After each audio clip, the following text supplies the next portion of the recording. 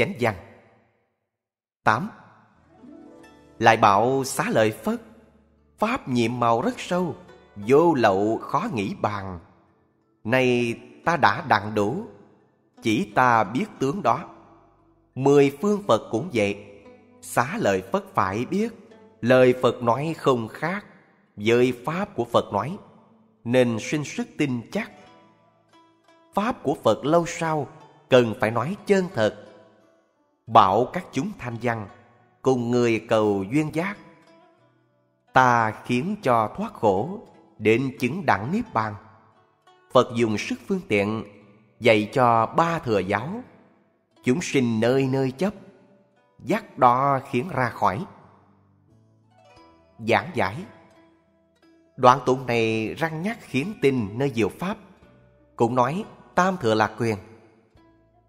Do vì đạo thực tướng liên ngôn, Chẳng phải là cảnh giới của tâm thức tư lương phân biệt, Mà hàng tam thừa dùng tâm suy nghĩ đo lường để tìm cầu.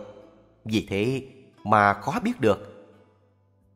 Do vì pháp này bất khả tư nghị Thẩm thơm di diệu, Cho nên chỉ có Phật cùng với Phật mới biết đó thôi. Các người chỉ nên tin mà thôi. Nếu tin rằng ngày nay là thật Ngày xưa là quyền Thì có thể xả bỏ chấp trước mà ngộ nhập vậy Kinh Hoa Nghiêm nói Nếu người muốn biết được cảnh giới của Phật Nên sạch ý của mình như hư không xa lìa các vọng tưởng và chấp thủ, khiến cho chỗ đến của tâm đều vô ngại. Như đây, há lại có thể dùng chấp trước tư lương để cầu tìm mà có thể được đó ư? Chánh văn 9.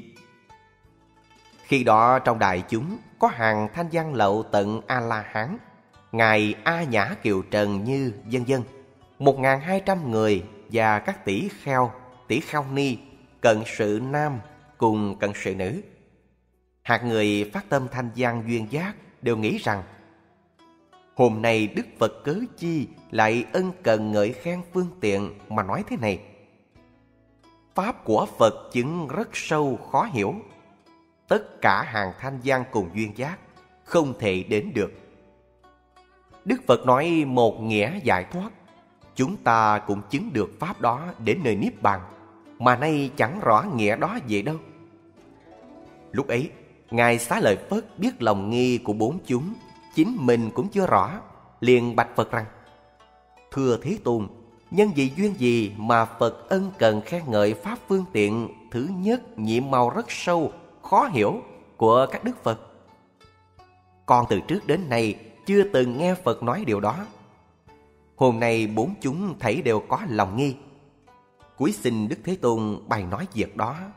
Cớ gì mà Đức Thế Tôn ân cần khen ngợi Pháp nhiệm màu rất sâu khó hiểu. Giảng giải Đoạn này nói Ngài xá lợi Phất nhân chỗ Phật ngăn chẳng nói và nương chỗ nghi của đại chúng mà thưa hỏi. Đức Thế Tôn ở trong hội nhập định phóng quang hiện ra việc hy hữu. Ở trong đại chúng ai lại chẳng kinh nghi may mắn được Ngài giang Thù giải nghi đó.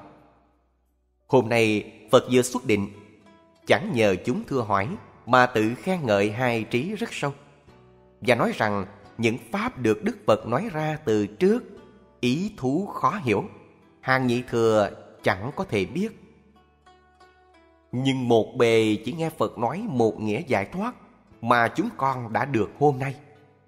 Dù lại chẳng biết nhưng Đức Thế Tôn vô cớ mà nói lời như thế Thật lòng chúng con rất đáng nghi Đây là nói hàng nhị thừa Chỉ nên tin lời của Phật Mà tâm chấp vẫn chưa bỏ được Toàn cho rằng từ xưa chứng được đó là thật Mà chẳng biết nó chỉ là quyền Nên nhân nơi Phật bài xích mà khởi ra lòng nghi Chính như Ngài xá lợi Phất, Dù là bậc trí tuệ mà cũng chưa khỏi có hoài nghi.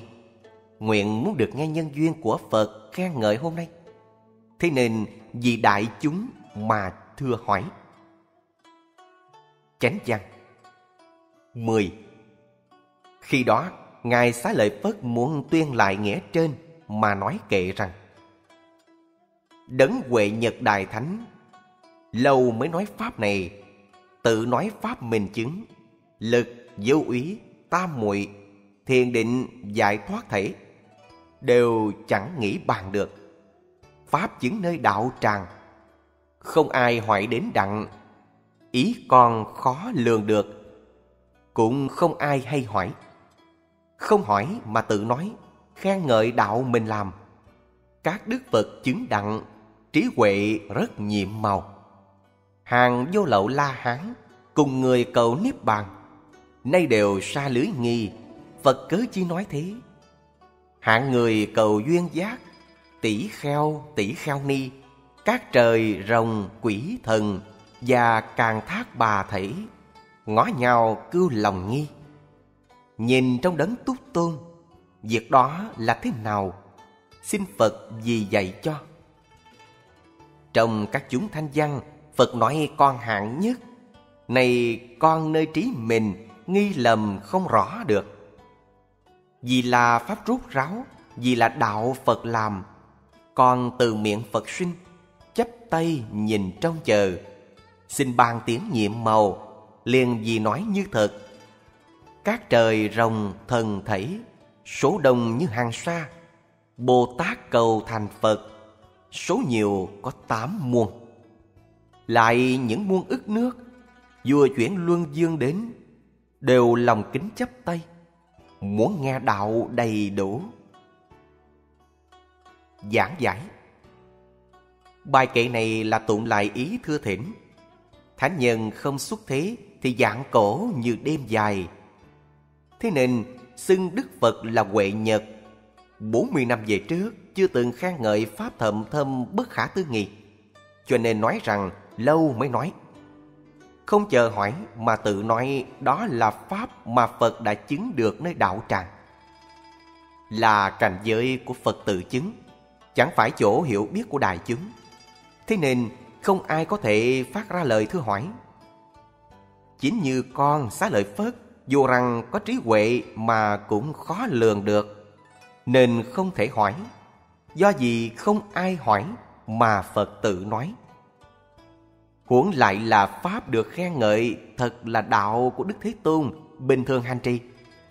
Đại chúng đều đã biết rồi, mà nay lại khen ngợi cùng tột là thầm thâm di diệu, chỉ có Phật tự biết.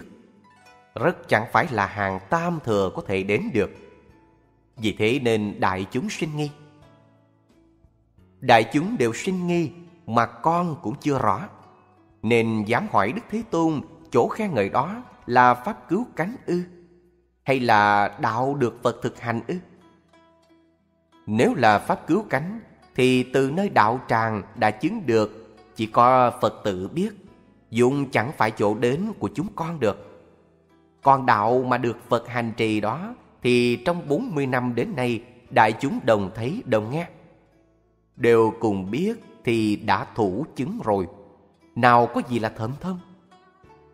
Đây chính là chỗ để sinh nghi mà muốn được nghe nơi đạo cụ túc.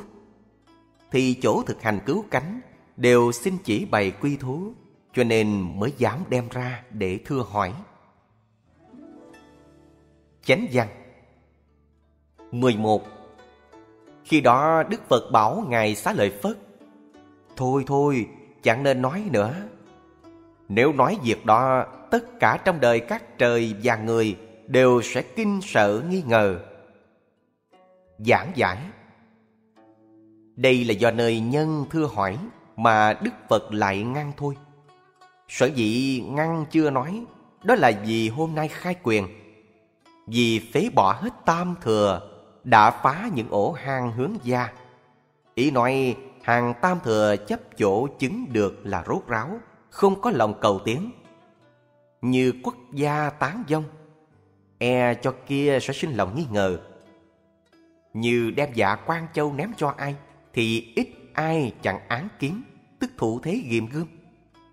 Huống lại là vô thượng diệu pháp ư. Thế nên, Phật chưa dám khinh dễ mà đem trao cho người.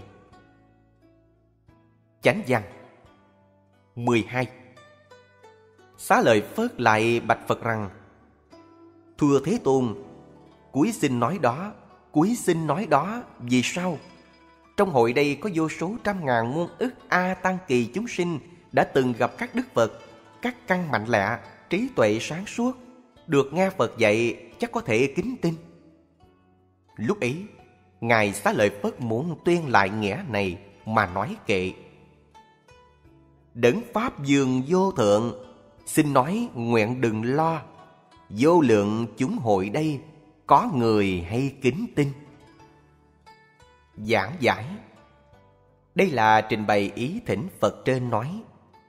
Ý cho rằng Đức Thế Tôn sở dĩ chẳng nói vì toan cho là trong đại hội đây trí cạn, căn liệt mà chẳng tin. Ngày nay, xem trong tứ chúng căn lợi trí sáng, ắt có thể kính tin, ắt chẳng phụ Đức Thế Tôn khai thị cho. Chánh văn 13 Đức Phật lại ngăn xá lời Phất.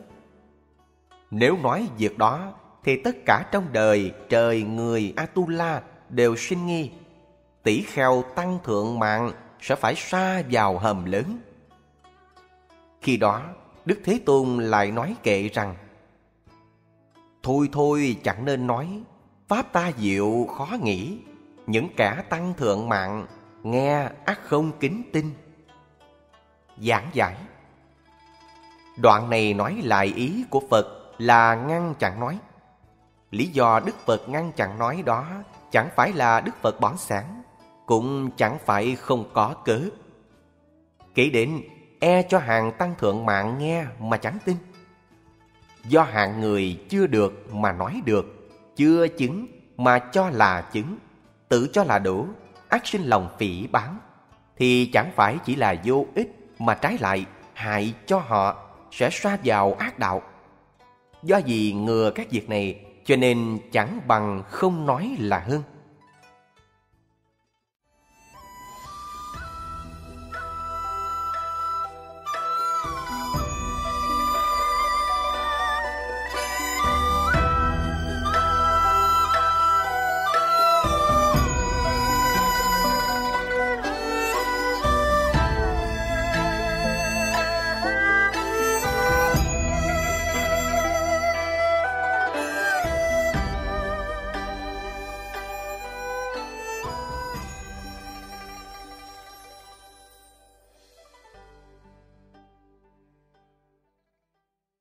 Chánh văn.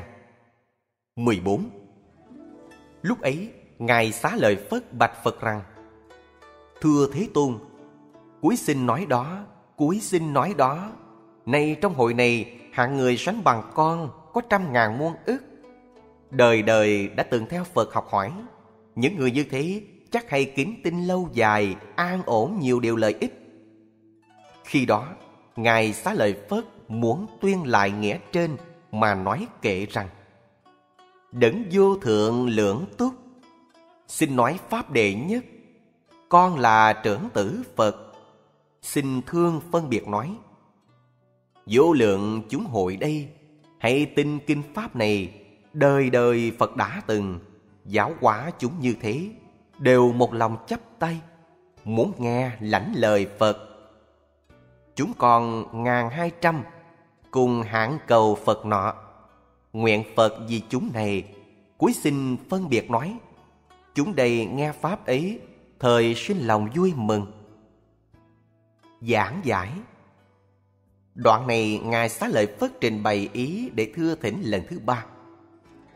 Nhưng hạng hạ căn thối tịch đều cùng với Ngài Xá Lợi Phất đồng dự một pháp hội. Theo Phật đã lâu, mà Ngài Xá Lợi Phất trọn không biết được những người đó. Có thể nói rằng cùng chung với người mà biết được tâm của họ, việc đó rất khó. Tức ở đây có thể tiến đến hàng tăng thượng mạng. Chánh văn 15 Bây giờ Đức Thế Tôn bảo Ngài Xá Lợi Phất Ông đã ân cần ba phen Thưa thỉnh Đầu đặng chẳng nói Ông này lắng nghe khéo suy nghĩ nhớ đó Ta sẽ vì ông phân biệt giải nói Giảng giải Đây là nhân nơi thưa thỉnh ân cần mà Đức Phật mới hứa nói Đức Phật đã vì trong hội mà nhập định phóng quang đồng địa trước hết đã làm kỉnh pháp quần cơ rồi vậy. Đây chẳng phải là nhân duyên nhỏ. Vừa xuất định, Đức Phật liền khen ngợi sự thơm diệu của hai trí quyền thật, lại không chờ thưa hỏi, mà Đức Phật tự nói. Như thế thì lẽ ra Phật liền luận nói, cớ gì Phật sắp sửa nói rồi lại ngăn thôi.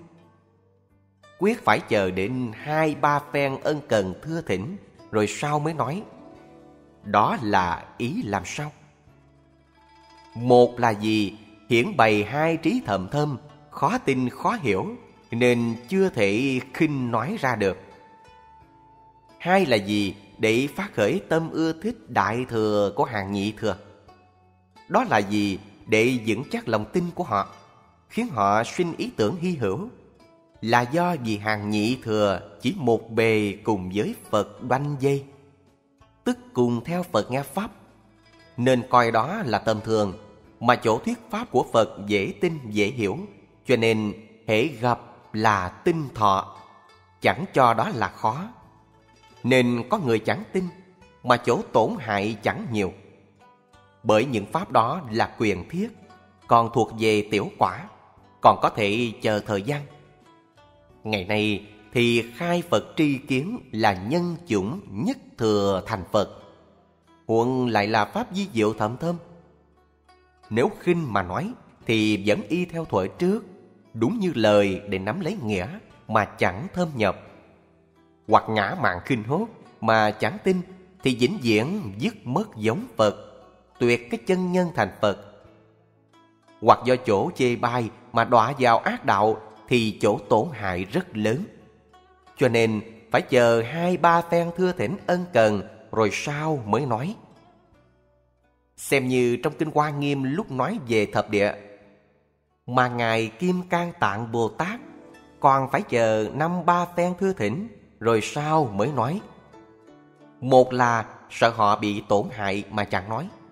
Hai là do vì bậc thập địa đó Pháp thơm diệu khó hiểu mà chẳng nói. Giả lại như Pháp giới hải hội thuần là một bậc thượng cơ Đáng lẽ nên liền nói mà lại còn phải trịnh trọng như vậy. Ngày nay, Pháp Hoa Nhất Thừa Thật Tướng chính là địa thể của Hoa Nghiêm Pháp giới. Huống lại hàng nhị thừa chỗ hiểu kém, sức thọ chẳng kham. Nếu khinh suất mà nói, thì họ chẳng tin, vĩnh viễn đoạn mất thiện căn, lại không còn có cơ hội để thành Phật.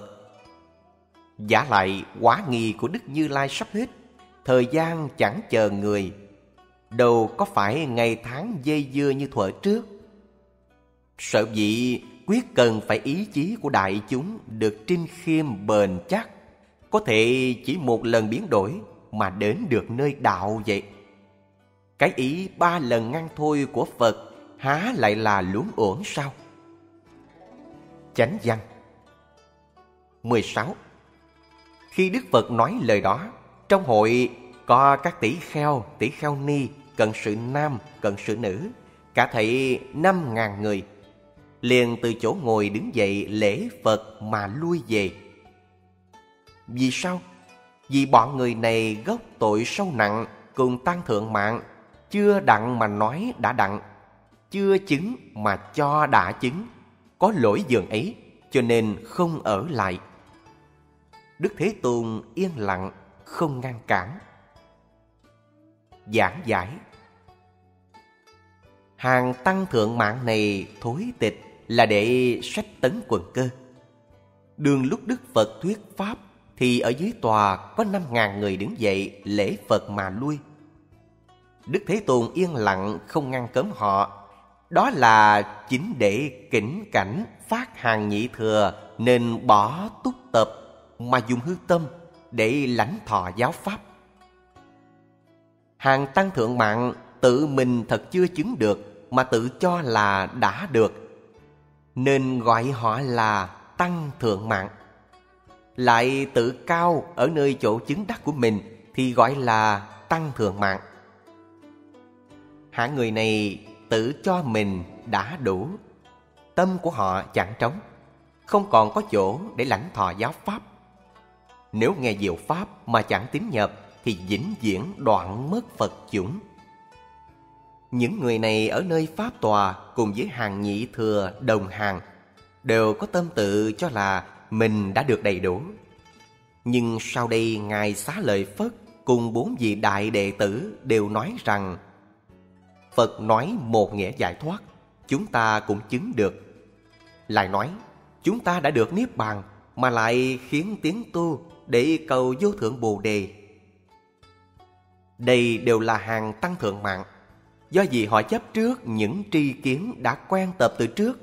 Như thế đâu có thể được nhập vào nhất thừa diệu Pháp.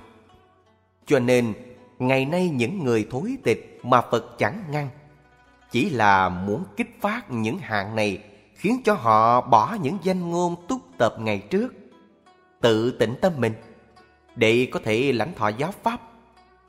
Nếu lưu họ lại, ác làm cho đại chúng sinh nghi lầm, thì rất phụ với thơm từ của Như Lai. Chánh văn. 17 Bấy giờ Đức Phật bảo Ngài xá lợi Phất. Trong chúng ta đây không còn cành lá Rặt có hột chắc. Xá lợi Phất những gã tăng thượng mạng như vậy lui về cũng là tốt. Ông này nên khéo nghe, ta sẽ vì ông mà nói. Ngài xá lợi Phất bạch rằng, Thưa dân Thế Tôn, con nguyện ưa muốn nghe. Giảng giải Đây là mừng vì cơ đã được thuần thuộc, có thể nói được đó vậy. Không còn những cành lá mà thuần có hạt chắc thì càng vững chắc ý chí của đại chúng. Cho nên nói rằng lui về cũng là tốt. Kinh Lăng Nghiêm nói rằng, nếu có một người chẳng được thanh tịnh đó, thì khiến cho đạo tràng chọn chẳng được thành tựu. Huống lại là năm ngàn người ư. Cho nên lui về đó cũng là rất tốt. Chánh văn 18 Đức Phật bảo Ngài xá lợi Phất Pháp màu như thế, Các Đức Phật Như Lai đến khi đúng thời mới nói. Như bông linh thoại đến thời tiết Mới hiện một lần. Giảng giải. Đây là chánh nói diệu Pháp. Đức Như Lai dùng hết thần lực, Vừa nói hai chữ như thị. Do đó mà tin rằng các Pháp tịch diệt tướng chẳng có thể dùng lời nói mà tuyên bày được. Chữ như thị là lời trực chỉ. Còn pháp đó là các pháp tánh và tướng vân vân ở trước. Nhưng các pháp chưa thấy cái diệu của nó. Chỉ chính ở nơi các pháp để thấy như như đó là diệu vậy. Nếu thấy được cái diệu của các pháp thì ngoài tâm không có pháp, tất cả đều là chân thường không gì chẳng phải là thật tướng. Thấu rõ được như vậy mới gọi là Phật. Cho nên, ví như hoa linh thoại, đến đúng thời mới hiện một lần vậy. Hoa ưu đàm đây gọi là hoa linh thoại. Ba ngàn năm mới hiện, lúc hoa hiện thì có thánh nhân ra đời. Như hội Pháp Hoa, Đức Phật chờ đến thời kỳ mới nói. Đó là để dụ cho diệu Pháp. Tâm thường thì chẳng nói, quyết chờ lúc cơ được thuần thuộc rồi mới nói vậy. Chánh văn 19 Xá lợi Phất Các ông nên tin lời của Phật nói, không hề hư vọng. Giảng giải Ở trên đã thẳng chỉ toàn thể của diệu Pháp Chỉ do vì khó tin khó hiểu, Nên từ đây nhận xuống chỗ nói phân biệt giải thuyết bởi do sự bất đắc dĩ mới nói mà thôi. Đó là do gì diệu pháp khó tin, cho nên ban đầu Đức Phật bảo đó nên tin. Do vì Pháp Tam Thừa ở trước hàng nhị thừa chấp cho là thật. Ngày nay, một mai phế bỏ, vì họ chẳng tin nên Phật mới răng nhắc để cho hàng nhị thừa tin nhận lời Phật nói.